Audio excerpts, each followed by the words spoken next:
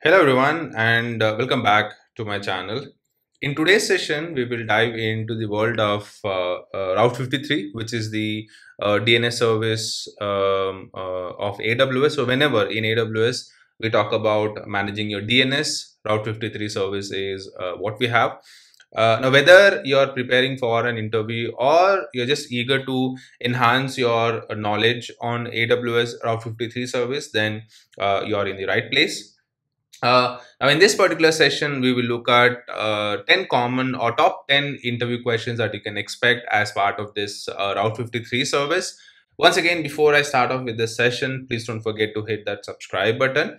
So uh, let's start off with your first question, which is what is Route 53? So like I said, uh, Route 53 is simply your DNS service that we have in AWS. Now, this is a scalable and highly available service which is provided by your AWS. So whenever we talk about your DNS service in AWS, Route 53 is a service that we use. So this is designed to route your uh, end users traffic. So let's say as a user, I hit www.google.com. So now that request needs to be processed. So that's where we can make use of your Route 53, which in turn will distribute the uh, traffic, the request to your AWS resources. So let's say, for example, we are hosting an application on AWS.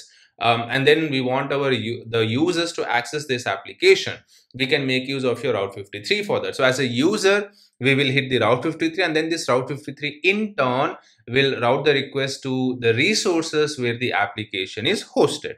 So route 53 is simply a dns service that we have in aws moving on to the next question how does route 53 handle the dns resolution? So uh, Route 53, like you know, uh, any um, uh, domain service we have, uh, Route 53 helps us to translate the domain names to the respective IP addresses of your computer. So, you know, when we talk about your servers, your machines, uh, it makes use of your IP addresses to identify each other on the internet.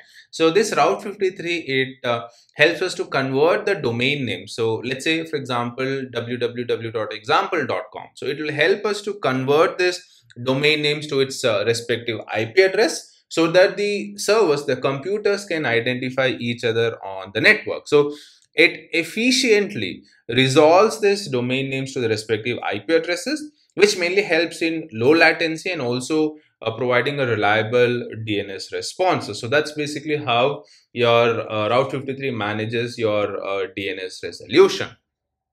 Moving on to the next question, what type of DNS records does Route 53 support? So there are a variety of records that your Route 53 supports. So we have the A record, we have 4A record, uh, CNAME record, MX record, we have the TXT record. Likewise, we have many more. So here, uh, I have created a hosted zone just for the sake of example. So here, when I click on this create record, uh, you should be able to see. So these are the different different type of records that we can create. So this is for your IPv4 uh, address record. This is for IPv6 address record. So CNAME, MX, TXT, PTR. So likewise, we have different different records. Now Based on your use case, based on your requirement, each of these record type serves a specific purpose when we are working with your DNS system.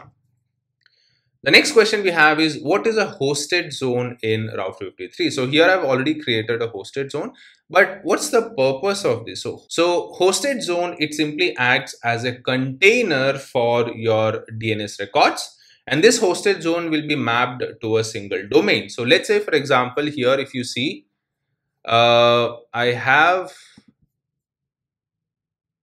okay. So here if you see, I have this uh, domain cloudtechies.cloud. Now, if you want to create records for this, so this hosted zone, it simply acts as a container. So I can add something like, let's say, uh, one.cloudtechies.cloud 2.cloudtechies.cloud, 3.cloudtechies.cloud, and then so on. So this hosted zone simply acts as a container for our records and this hosted zone will be mapped to a single domain. Okay, so this simply stores information about how the traffic is routed for your domain or the subdomains. The next question we have is how can you configure a domain registered with another registrar to use Route 53. So basically, uh, we have your Route 53, but then we are using a different uh, domain registrar. So how can we configure uh, Route 53 to use this domain registrar? Uh, so it is possible. So what we have to do is if you want to uh, if you want route 53 to use another uh, registrar so what we have to do is we'll have to create a hosted zone in route 53 which will uh, uh give us the uh, name servers. Now we'll have to take these name servers and we'll have to add it in the third party registrar that we are using. So we'll have to basically um, so here if you see I have created this hosted zone.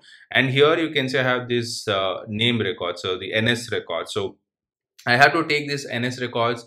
I have to go to my uh, third party registrar, which in this case is Hostinger, just for the sake of example, I've taken it. So here you can have the domain and we can go to manage and all I have to do is I have to uh, uh, change this. So I have to uh, basically take the name servers provided by Route 53 and I have to add it here in this domain registrar and then my route 53 will will start uh, delegating the dns control. So uh, all the traffic will be routed uh, via route 53 to that particular uh, uh, domain server. So we just have to take the name servers and then add it to the uh, domain registrar. The next question we have is what is the purpose of a health check in route 53 so route 53 also um, can be used to do a health check on the uh, resources. It could be your ec2 instance. It could be your s3 bucket. You know just to check whether those resources are working as expected or not. And at any point if this resource becomes unhealthy then route 53 will stop uh, routing the traffic to these resources which will help the uh, availability improving the availability of your application. So here uh, if you go to your route 53 you should be able to see this health check so this is same as creating a health check for your uh, load balancer. So you can fill in these details, uh, you know, what is the URL that you want to monitor. And uh, when you're creating the records, you can um, uh, add these health check and your Route 53 will start monitoring uh, uh, those resources. And if it is unhealthy, then Route 53 will not send the traffic to those resources. The next question we have is, can Route 53 be used for domain registration? So yes, in addition to uh, routing the traffic to your AWS resources, we can also make use of your Route 53 to register new domains as well as uh, transfer existing ones. Like uh, uh if you want to register a new domain, so you have the options. You can go to this uh, registered uh, domains and uh, you can start uh, registering a new domain. So you can select your uh, domain name. So you know you can go to register domains. You can select a domain and search whether that domain is available or not. For example let's say i'll look for uh, cloudtechies.cloud so this will tell whether the domain name is available or not. So in my case it's already taken because I have registered it with a different registrar. And it will also give us some recommendation as to you know if you want to use you can use this.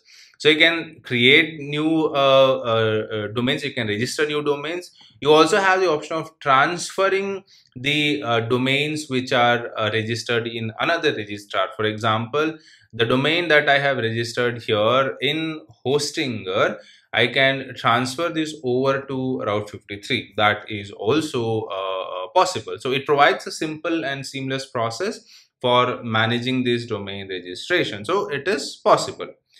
The next question we have is what is the difference between an alias record and an CNAME record in Route 53. So the alias record is used uh, to map a domain to the AWS resources. For example, uh, to the load balancer or to the S3 bucket URL or to the CloudFront URL. So if you want to map your domain name to the AWS resources, we can make use of an alias record. So here when we are creating your uh, uh, record, so let's say I'll go to the hosted zones and uh, let's go to this and I'll create a new record.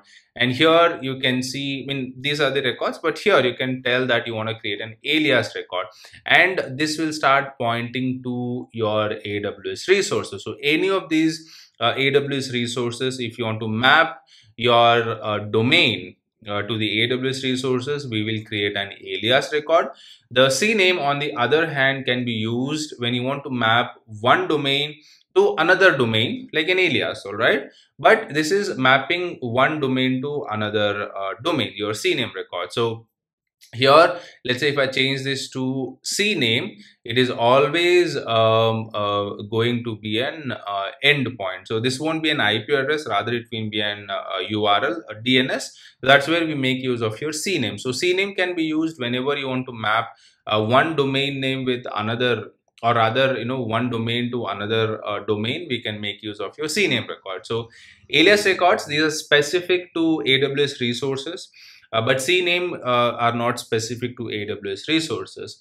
And your alias records also provide additional benefits such as automatic updates. So, you know, if your uh, uh if your load balancer uh, gets updated, your alias record automatically gets updated. We don't have to do anything. The next question we have is how can you implement uh, routing policies in uh, Route 53?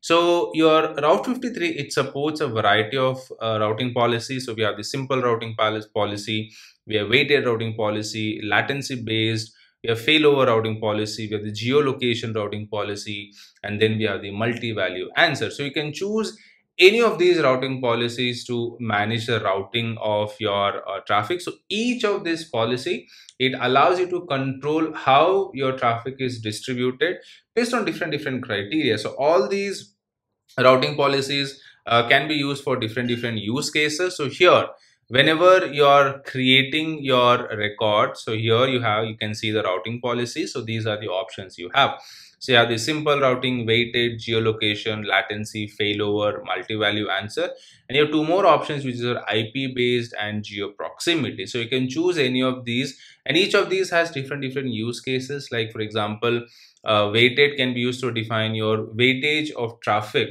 that you want to send uh, to a particular server. So likewise, you can handle the routing of your traffic uh, based on the routing policies. The next question we have is what is the significance of TTL time to live in uh, DNS records?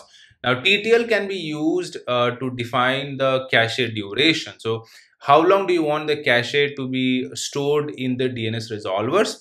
we can define that by making use of your uh, TTL. Now, this is a very important uh, this TTL it plays a very important role. So you know depending on how quickly you want to you want your changes to uh, take effect. So we, we make use of your TTL. So the lower the TTL, your changes will will will you know uh, take effect uh, quickly. If the TTL is longer, then it will take time for your changes to uh, effect. So uh, basically, your TTL can be used to define the duration, how long you want your cache to be uh, stored. So here, every time you're creating your records, you have the option of specifying your uh, TTL. Minimum is 60 seconds, which is one minute, and it can go up to two days uh, to tell that you know how long you want you want your cache to be stored. So that brings us to the end of your uh, top 10 interview questions that you can expect as part of your uh, AWS Route 53 service. Um, uh, once again, you know, whether you're preparing for uh, interview or, uh, uh, you know, you're just eager to enhance your knowledge, this should be um, sufficient for you.